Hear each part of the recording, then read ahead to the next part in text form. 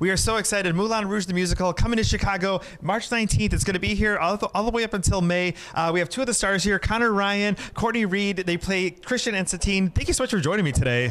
Thank you for having us. So, uh, Courtney, first of all, we got to talk. Chicagoland. You grew up in Elgin, went to school here in Chicagoland. Tell us a little bit about your journey uh, into theater and, and being from Chicago. Well, it started when I was a mouse in Cinderella when I was six years old. No, I'm just kidding, but not not really. Um, I, you know, I, I actually currently still live in Chicago. I live in Lakeview, so it's like I haven't left, but I have.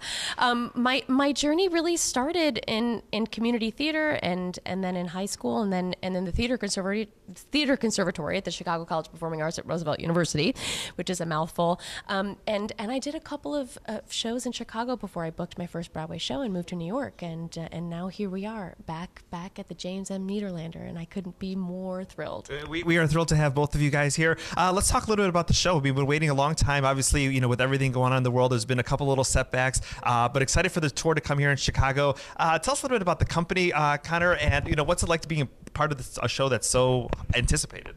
Oh my gosh. Well, uh, getting to be a part of Moulin Rouge is a huge pinch me moment for me. I'm such a huge fan of the film and the creative team that came together to, to build the Broadway show is just an absolute dream. And then the, this company of performers that we get to work with, um, starting from the top, my gorgeous co-star and, and everybody that we get to share that stage with and off stage, um, it's just such a wonderful family of performers. The talent is through the roof, obviously, but then on top of it, we all get along so well.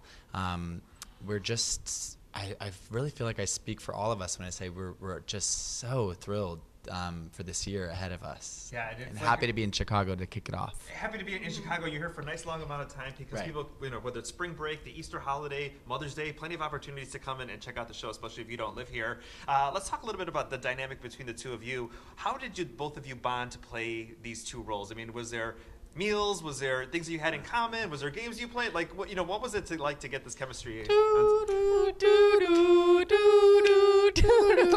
we, we, we immediately bonded over our shared love of the HBO series The White Lotus, but that's not the only thing we have in common. No, no I mean we hit it off right, right from the first second we met. I feel like, yeah, we just um, we we often say we feel like we we hit the jackpot with each other. So, but what kind of stuff do we do? Yeah. We go we go have drinks, we go have meals. We do everything. I mean, we spend all day with each other, and then and then we're when then we're texting each other, you know, after the whole day spent. How was last night? And I'm going to see you in, in, in an hour, but like, so catch up, catch me up on life. you know, um, we we just we just love each other, and um, I just feel so lucky. I think um, as an actress, you you hope and you dream for a co-star that's going to be so very open-hearted and um, uh, it's just so real with you, and and and that's what I get with Conor, and and I got so lucky. We're talking, we can't wait for the show to, to start here in Chicagoland. I mean, obviously, people know the soundtrack uh, from the movie Lady Marmalade. I mean, obviously, you hear those first couple of notes, and oh, yeah. you still, I mean, 20 years later, you're still kind of, oh, yeah. you know, bopping yes. your head. I mean, even the original, you know, going back, you know, decades, you know, before that one. But let's talk a little bit about the music and the songs, because it's not just the songs from the film, but they've updated it for for the stage version to include some new tracks. Talk a little bit about, you know, some of the new tracks and some of the songs you get to perform. Oh, go for Gosh, it. Gosh, there's it, like Adele and Beyonce and Britney Spears and Lady Gaga and Katy Perry, Postal Service, and oh man, yeah, there's it's it's it's awesome. It's it's like all all we we we joke that this show has ruined the radio because whether you're in the, the grocery store or the train station, at every day I'm hearing songs that are in the show because they just chose such great popular music, and it's a it's a gift to get to sing sing these tunes. It's, it's like going, you know, to a th- getting a theater experience, but also going to like a club. But you get to hear all your favorite songs at the same time as well too. Oh yeah, it's the best of all worlds. Let's talk a little bit about the costumes. Tell us a little bit about getting fitted for them, wearing them. What you know, what's it like wearing some of these iconic outfits? Well, we, we're so lucky that this show actually existed previously. So these costumes by Kathy Zuber have become literally iconic iconic. And so when I'm seeing myself in these costumes, I feel like I feel like I'm I'm really Satine, you know, because Satine has already been established, and, and not just the film, but the Broadway show, and and um, you know, the, there is not one bead or a button that has gone, you know, that is that is not intentional, and I think that goes with the rest of the show, with the set design and the creative team and the music and everything. But but the costumes are so lavish, and and and really they spare no expense. What about for yourself?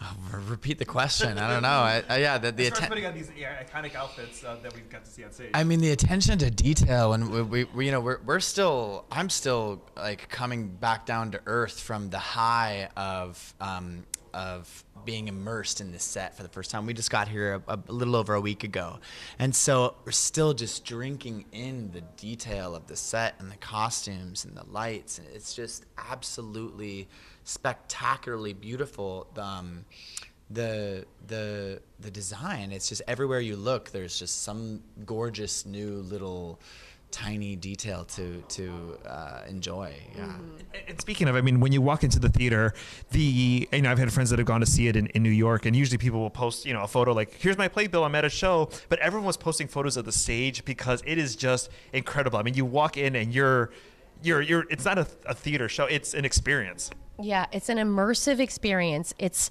opulence. It's so lavish. It's so vibrant. It's so colorful. And if, if you're a fan of Baz Luhrmann's film, then then you will see that um, set brought to life, and you will feel like you're literally inside of the the magic of the film. Being a, a part of the theater community for, for quite a time and seeing the awards that the show got. I mean, 10, 10 Tony Awards, Best Musical. I mean, there was such anticipation for this.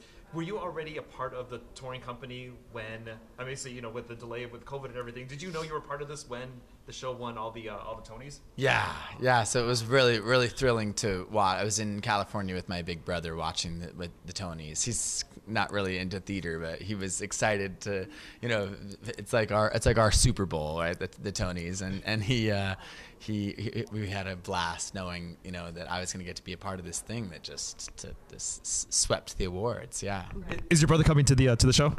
yes of course yeah in la in, in LA. Hopefully, you know, maybe he'll come to Chicago. We got a couple days to try to convince him, uh, you know, as well too. And the final thing here, uh, friends, family, everyone excited to come see you here, especially you know you being so local. Oh yeah, they're over the moon. They're over the moon. They don't have to get on a flight. Are you kidding? It's thrilling. Courtney Cotter, thank you so much for your time today. March 19th, Moulin Rouge the musical. Check out BroadwayInChicago.com for all those tickets.